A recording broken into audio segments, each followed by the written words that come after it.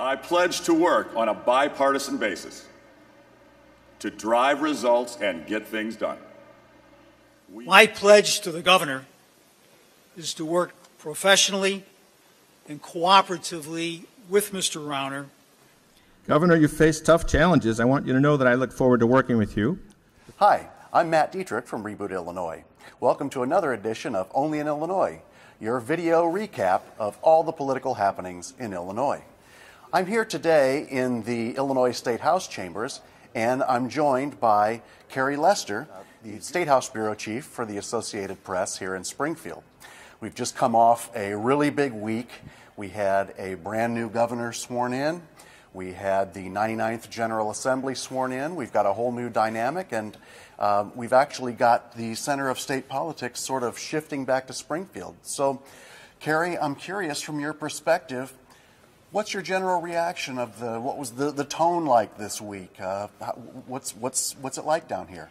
Well, Matt, I think there's two things that are going on. I think that there there are these overtures to bipartisanship. You heard that in, in new Governor Bruce Rauner's uh, inaugural address on Monday. You heard that in the speeches by by the leaders of, of the Democratic House and, and, and uh, Democratic run House and Senate chambers. But at the same time, um, these leaders in, in, Illinois' divided government for the first time in more than a decade are also setting out clear agenda items. So I think while they're saying they're going to work together, they're also staking out their lines in the sand, and we're going to see some partisan fights in store.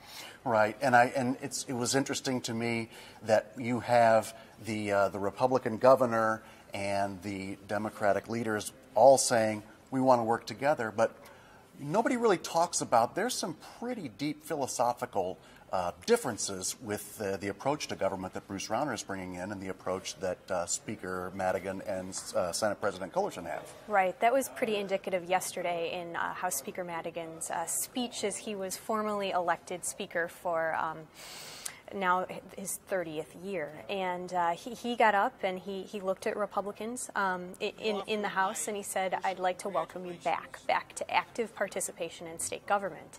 And in, in, in talking about that, he mentioned that Democrats have in past years passed a budget without any Republican votes. And he, he was warning them that now they're going to be active, have to be active players. So now you've, you've got on one side the mentality of cuts and, and not extending this income tax increase, and, and, and you on the other side have, have a more democratic agenda where Madigan and Cullerton are saying that you know we need to increase investment in education and social service programs. We need to find a way to do this, and by saying that, they're opening the door for for for extending that tax increase. Right now, one thing that I did notice, and um, since you have been down here for two years solid, and you saw it throughout the 98th General Assembly. Um, Bruce Rauner is sworn in on Monday. Mm-hmm. On Tuesday, he holds a meeting with all four legislative leaders. Mm-hmm. Uh, we have Madigan Cullerton and uh, Senate Minority Leader Christine Radogno, uh, Jim Durkin, the Minority Leader of, of the House. Um, that to me struck a, a lot, big difference in tone than what we've seen under the Quinn administration. It did not seem to me um, that there was a whole lot of, of meeting and discussion between the leaders and the governor at that time. Was that was that the case, or was there stuff going on that I just didn't see? Well, in man, I'm, I'm, doing a weekend piece kind of to, to this effect. You know, how did relations between past governors and leaders of the General Assembly work in the past? And I think you saw things across the board. But um, like you, I was staking out that leaders meeting, and you're you're trying to you know um, pepper pepper the different leaders mm-hmm. um, with questions about how the meeting went, what was said inside that room, and um, House Republican leader Jim Durkin made a comment that since August of 2013, when he assumed the role, this was the first time that all four leaders came together to talk. So, in his, from his perspective, that never happened under Quinn, and Rauner today, in his in his remarks to the press after signing a, a, a, yet another executive order, he he said something about you know them having very different leadership styles, but he was committed to getting all, all five of them in in the same room and to talk on a regular basis, and he hoped that that would help facilitate conversation. And this sort of harkens back to uh, the era that. Uh, well, it ended 12 years ago when um, Governor George Ryan exactly. left office. But you know, you always heard about back then. You had the Democratic leadership and the Republican Governor Ryan would get together and they would just do deals, and the governor would crackheads, and uh, I wonder if we're, we're going to see more of that. It, it would certainly be interesting, and, and yes, one of my favorite um, speeches of, of Madigan's. You know, he is out and, and talking freely so rarely in public. A few years ago, he was a keynote speaker at Elmhurst College's annual Government and Politics Day, and I think Lee Daniels presided over over that um, that annual day by the institution. And Madigan was talking about the leadership styles of different governors, and he spent a while talking about how Ryan would pull them all in the room, and he'd say, "You're not getting out until we we figure out a way to get out of this mess." and Madigan, I think, indicated that, that he respected that to some degree. And, and certainly, if you look at uh, Governor Rauner's previous background, his business background, he's a deal maker. That's right. how he got to be, you know, who he is and, and amass the money that he has, I think. Right. So I, I, I, have to wonder if that's going to come into play more here. One last thing.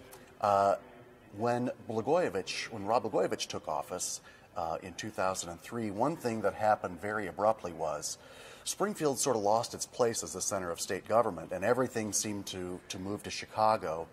Um, I got the feeling this week, we, we, had a couple of press conferences by Governor Rauner, and granted, yes, this is inauguration week and everything, um, but Governor Rauner has now moved into the executive mansion. Do you get the feeling that he's going to reestablish uh, Springfield as more of uh, this is where state government's going to happen?